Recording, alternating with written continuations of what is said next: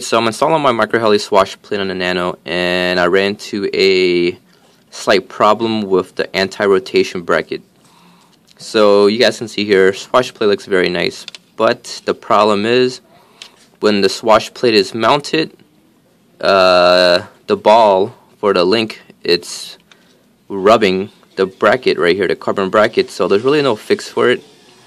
Mm, if I flip the anti-rotation bracket around and trim the frame down, the pin is not really long enough, so that's going to pop off. So uh, yeah, that's a, a, a, slight disappointment. I was really looking forward to flying it.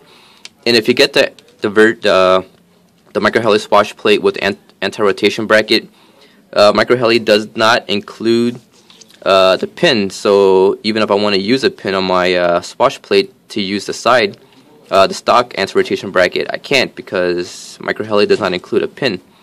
And now I'm stuck with this thing. And I don't really see an easy fix for this unless I modify the frame or whatnot because I can push back on the bracket a little bit and the swash plate doesn't even move because the ball is still stuck on there. So that's good that's a big problem. And uh, hopefully microheli gets this fixed and uh, takes care of all the customers with these issues. So there you go